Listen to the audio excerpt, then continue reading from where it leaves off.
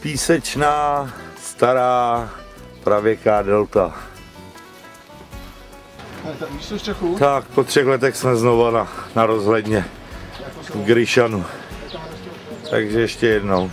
Hlavní kanál do Suliny, který není originál, který byl vybudovaný před 100 lety. Starý sulinský rameno, po kterým jsme přijeli z míle 23. Tamhle v dálce je někde Džurilovka. Tamhle do té oblasti těch lužních lesů a jezer se dneska vydáme, tam je Karorman. Kanál Sulina je jediný splavný kanál pro velké lodě a taky ukrajinské lodě, které plujou z moře, tak musí jet přes rumunský území, za který tvrdě platí.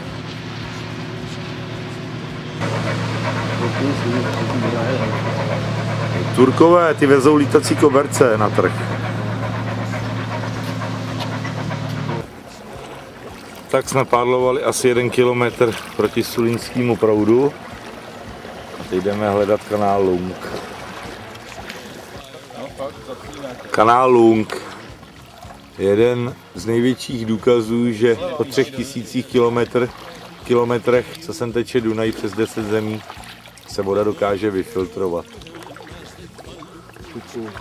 Potom takhle to dá upředu takový docela chytrý. Fotím cestu do pravěku. Jedete taky do pravěku?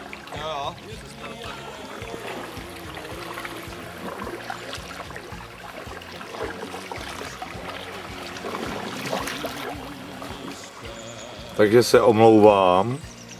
Omlouvám se za informace. GPS ukázala, že jsme jeden metr nad mořem. Ale to bylo jenom neodbornou manipulaci. To je jasný, vždycky je chyba mezi židlí a monitorem. No a trošku, trošku háďátka k večeři si dáme. Kluci to ochutnají a pak budou rozumět čemu. Tomu, že smrdí jak řeči. dveře. No. Tak. A stahní hned. Nebo už stanem potom máš. Nemají zobe. No, ukaž kůži. Je na ruby, no. Ani, době. ani nenatočil, jak jí Máca rychle stáhnul. Máca už je profí. to bylo. A, a je připravená na jídlo. Oblast Karormanu je jedna velká písečná kosa, která tady vznikla před deseti tisíci lety, když vznikalo Černé moře. My se tady snažíme najít něco k jídlu. A to jsou takové velký, velký škeble.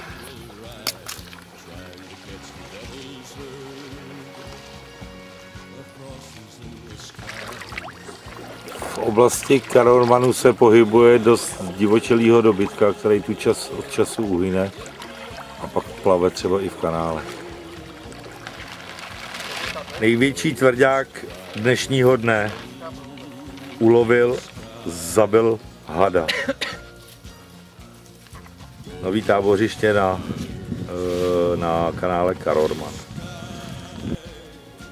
Oblast Karormanu se také nazývá Grinduli, což vyznačuje polopouštní nebo stepní až polopouštní krajinu uprostřed mokřadů.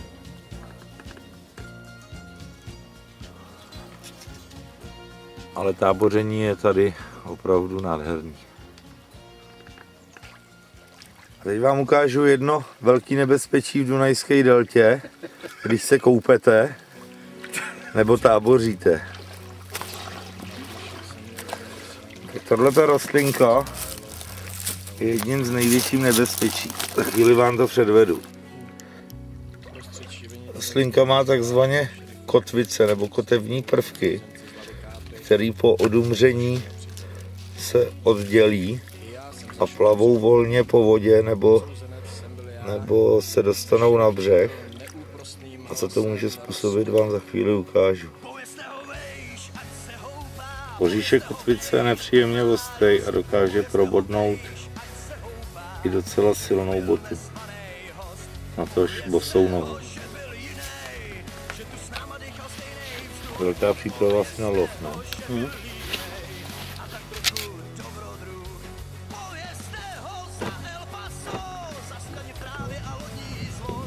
Velká pohoda před dlouhým dnem, který nastane zítra.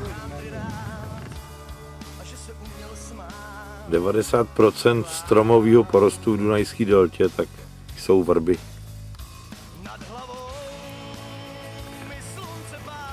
U některých jedinců se stáří odhaduje až na 700 let.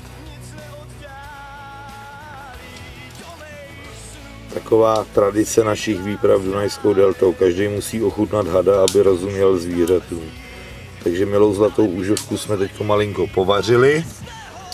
Teď ji rozkrájíme na 8 dílků a osmažíme ji na pánvičce. 8 dílků, pro každýho jeden. Takže můžeme jít smažit. Ano, šéfe.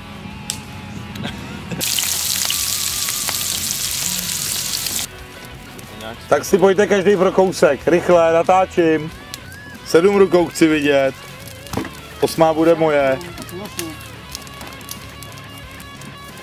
Šup, šup, šup, šup. A už budete rozumět zvířecí řeči.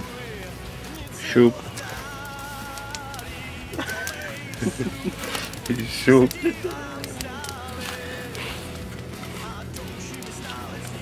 A šup. Dobrou chuť. Nick, Už neměl něco. Co? Já si jdu. Já si konce, víš, taky Na zítřejší den jsme se rozhodli, že budeme lovit žáby a k večeři si uděláme žabí stehínka, což je na jednu osobu asi tak 10-12 žab. Tak je třeba si vyrobit nějakou lovičku, takže tady teď kluci vyrábí. K Tomu nám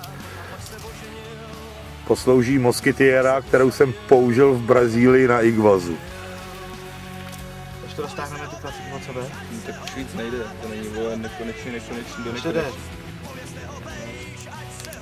Lukáš má dneska funkci Wassermana. To je člověk, který tak dvě až tři hodiny furt neustále převařuje vodu a dělá zásoby na druhý den, protože pijeme to, po čem plujeme.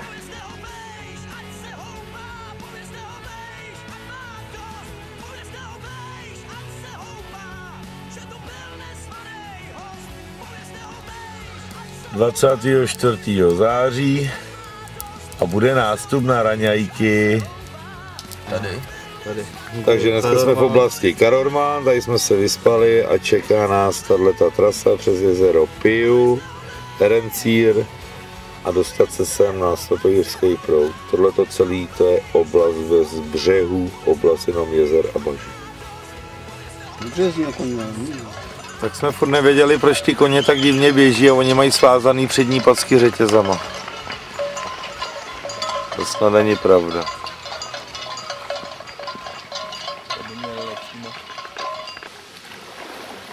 Tak takhle vypadá typická kirhana Dunajské delty. Kirhana znamená sběrna ryb.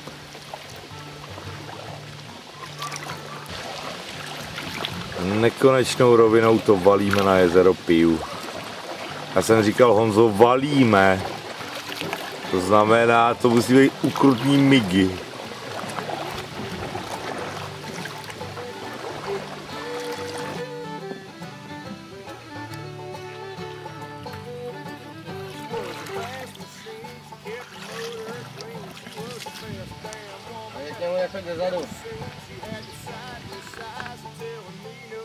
Hodně vody tady asi dosahuje při povodních.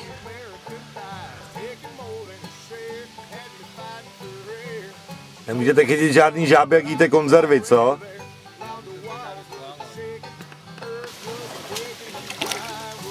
Rákosí opravdu vysoký. Tam by se ztratila i žirafa.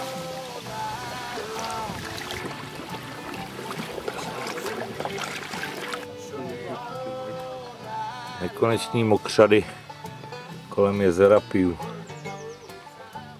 To ještě není jezero Piu. Ne. To je před jezero. Červík mi říkal, že to mám tady zdokumentovat, že na levý straně roste orobinec Na straně. a na pravé straně Roste roste rákos. Teď vám ukážeme, jak se nechá jíst orobinec. Chutná podobně jako pórek a nechá se z toho dělat polívka. No, já jsem měl, já měl hezoučkej, takže takhle to vypadá ten kořen. Takhle se voloupe.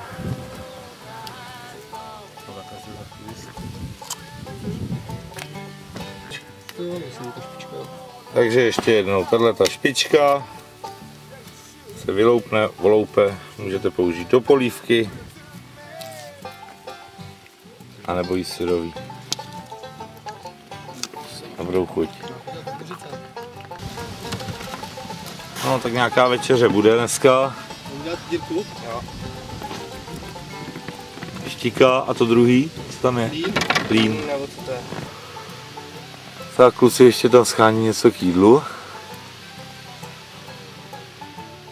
Tak nakonec bude sumeček dneska k večeři, podkovičky a žabičky. Zabij ho hned, aby to. Praštil něčem nebo píchni ho. A drž ho. Fakt? Jo. Jenom to levý. Asi jsem ho píchnul do levý části mozku. Do levý hemisféry.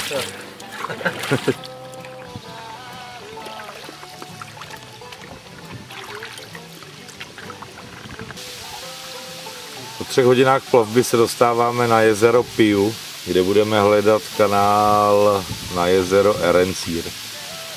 Taková libuska tohohle jezera je, že tamhle za- zádu za tím břehem je jezero Rosu a v roce 91 tady rumunská armáda hledala Čaučeskovo syna a to místo bylo vybombardované. Údajně se tady měl schovávat. Za náma už to mastí naši lovci sunců. Jezero je menší než jezero Gorgova, ale má spousty přilehlých zátok, zákoutí a rákosových bludišť. Tři čtvrtě hodiny makačky a jsme na druhém konci jezera. Teď se dáme spojovacím kanálem na jezero Erencír. A kluci už zase pokouší sítě. Oni to nemají dost toho padlování. Tak další sumec k večeři. A ještě kusíme živýho raka. Ale víš, je vody za to. Ukáž ho pořádně? Jo, vole. Super. To se zapínala kdy, ale. Legendární hnízdo mouděváčka, to by bylo, aby jsme na něj nenarazili, už jsem myslel, že žádný nepotkáme. Všichni fotí hnízdo.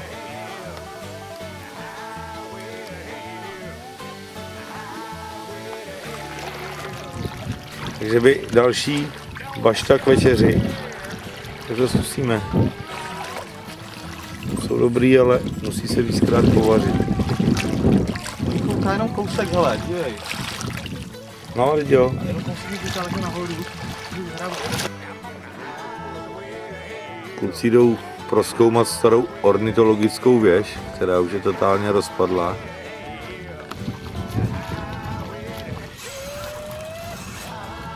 Jsou jako čápy, kdyby si stavěli hnízdo. Tak tohle to je krajina trvale nasáklá vodou. To je Dunajská delta, nekoneční lány bažin, rákosí, orobince, různých lesů. Tím vším se ještě musíme pro, nebo tím vším musíme prokličkovat až do Svintu George.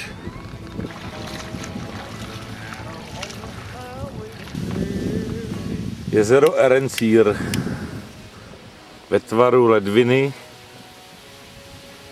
a největší pakárna ho přejec proti, proti větru. Letnínový hráj. Se zatím jsme na tom první kanálu. No, ještě bych ještě kanál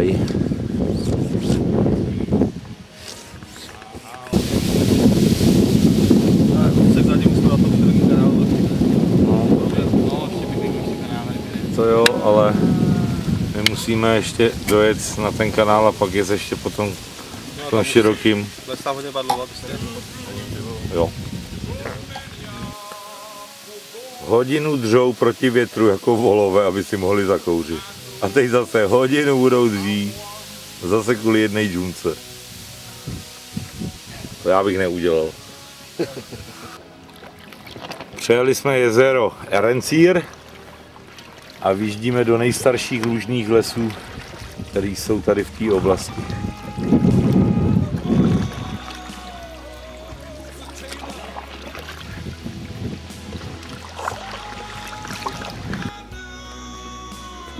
Tady tím pravěkým kanálem se dostaneme na Svatojirský.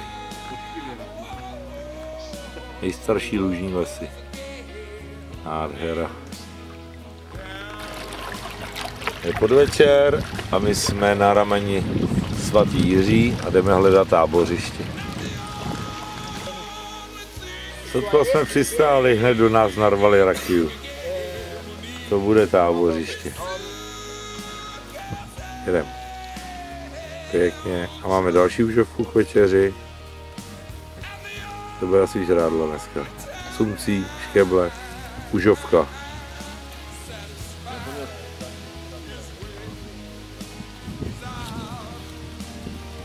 No a můžeme začít dělat večeři.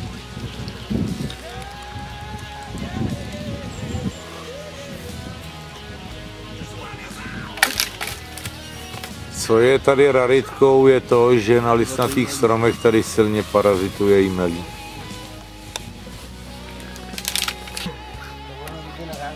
Tak tohle to se teď bude připravovat k večeři.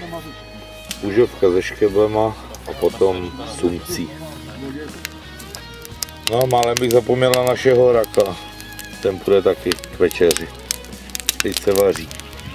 Škeble. Škeble už budou poživatelný. Škeble budou vařený. Ty budou za chvíli k snědku. Sumec už se taky smaží. Krájí. Tak dobrou chuť a dobrou noc.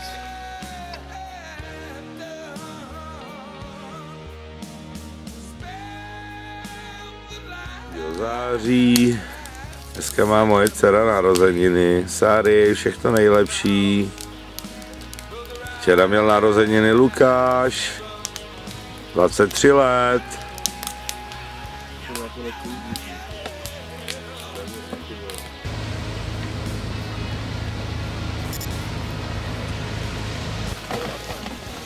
Ranní chaos při naloďování. to je správný cvrkot, mumraj. Takže dnešní plavba po svatojirským rameni až do stejno jmené vesnice svatý Jiří. Tohleto rameno je dlouhý 112 kilometrů, když se rozdělí do na, na tři části a odvádí 22% vody z celého toku Dunaje. Oblíbené téma, žrádlo, že jo? Zase. Jak jste taky ne, když jsme jezdili na koupat někam ty ne, měli A? toho dvora, tak tam tady opalovali kozy a A? opalovali.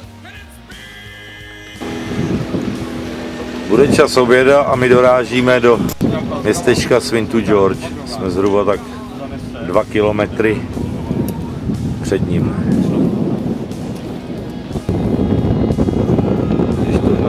Na 12 a my jsme urazili, kolik jsme urazili? 13 km. 13 kilometrů od půl devátý, no, z tábořiště. To jde. To je pěkný mezičas. A tady odsaď se bude naše výprava dělit na výpravu po Dunajské deltě a teď začne druhá část a to bude výprava po moři. Tak takhle to vypadá, když přijedete na konec řeky, která končí v moři. Vypadá to, že jedete do kopce. Tak jsme ve městečku. Dáme nějaký pivo. Uvidíme, co dál. Svintu George, městečko Písku. Svintu George je de facto ostrov. Z jedné strany ho omílá moře a ze tří stran ho omílají bažiny Dunajský delty, nebo obestírají.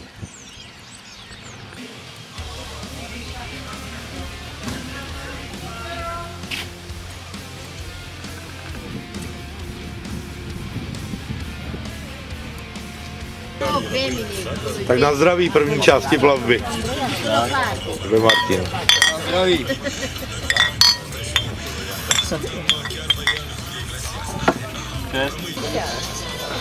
Viděli českou výpravu, tak hned udělali závoz. Tak touhletou obludou jsme se kdysi dostávali z Dunajské delty před třema rokama. Hele, hele, hele, hele, oni to jdou proplout. To jsou pitomci. A, a jsou venku.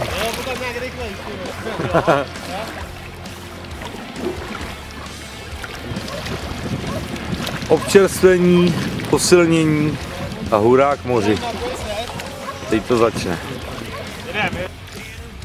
Dnešní tábor máme úplně na samém konci řeky, pak už je jenom moře.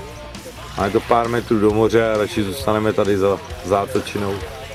Našli jsme si celkem romantickou pláž. Tak doufám. Za vytrvalost, za vytrvalost, za chvíli. No, tak oni vám to teďka řekli. Tak, tady všichni, tady všichni vidíte, že platí pravidlo východních Němců na Balatonu. Kdo dřív přijde, ten dřív urve lepší plácek. Máca už si to ohraničil.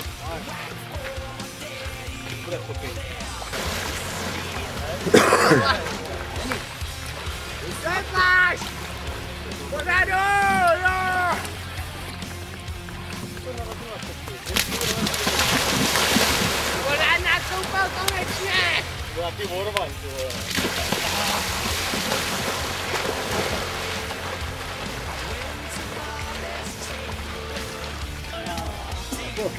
Největší prasák výpravy, myslíte, že ho dostaneme do vody? Ani boh.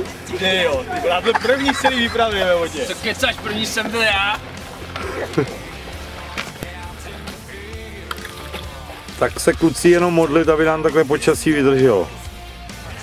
A bude to nějaký. no.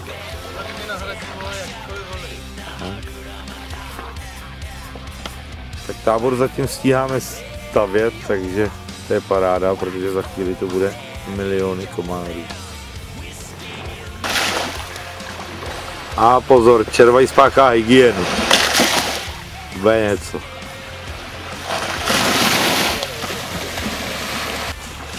Já jsem tady taky a mám takový dojem, že už by se měl do té vody vlést, protože jsem tak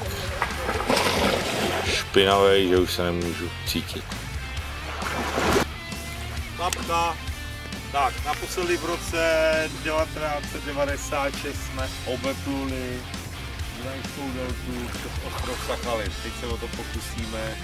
Do té doby vlastně to před třema rokama se nám to nepovedlo, ale to s tou grupou nám to snad povede. Dokonce nám přeje i počasí, 6 dní jsme pluli proti větru, dneska se to uvidí. Buď to je to klid před bouří, anebo nám bude přáno a tam jaký to počasí. Jo, tak to něco. Oheň hoří, takže dobrou noc.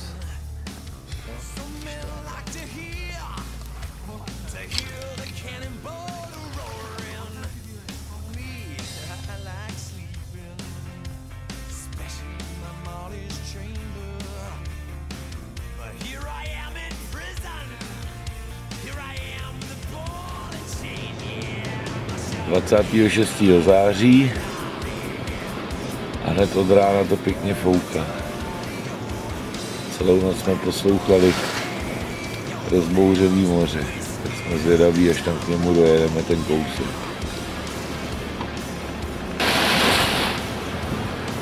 Tak tu tak všichni postávají a čekají, až začne topit sluníčko.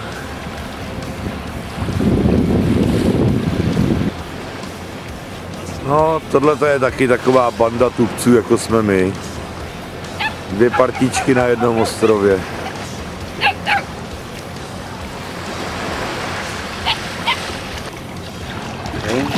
Jezero 8 a naše čluny omývají černomořské vlny. Jsme u ostrova Sachalin, který se budeme snažit obět nebo přetáhnout.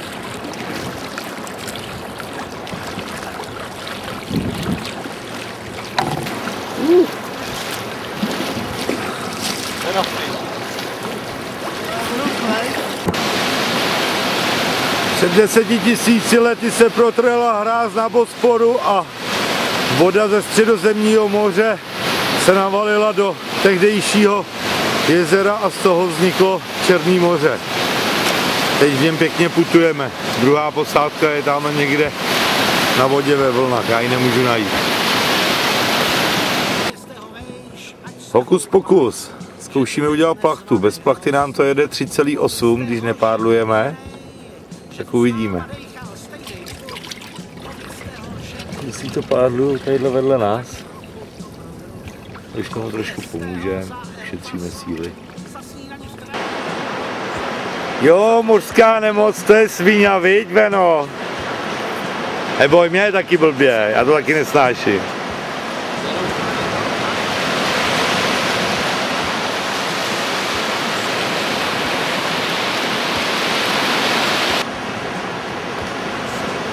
Ostrov Sachalin je de facto 16-kilometrová písečná kosa, kterou my musíme obeplout, aby jsme se dostali na normální černomorský pobřeží.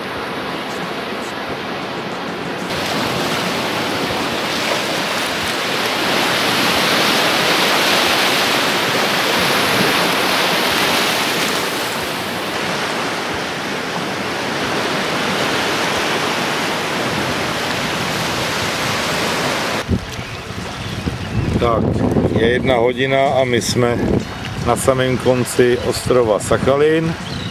Teď nám zbývá přejet na druhou stranu dostat se k pobřeží. 140 milionů tun ročně se dostane vodou Dunaje sem do Dunajské delty a začíná se ta nečistota prát eh, s Černým mořem z toho vznikají tyhle ty píseční kosy. Je tady dost vyplavených medůz. Škoda, že se nedá jíst. Aspoň by byla večeře. Asi 40 km tímto směrem v moři je Hadí ostrov, po který vedla spor Ukrajina s Rumunskem. Nakonec to vyhrála Ukrajina.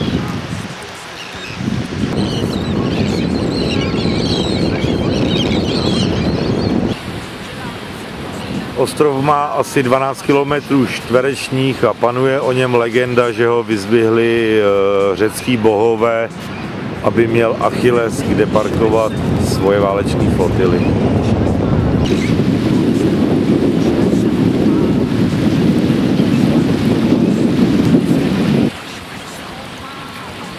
Tak ji zkus vyvařit, uděláme z toho polívku.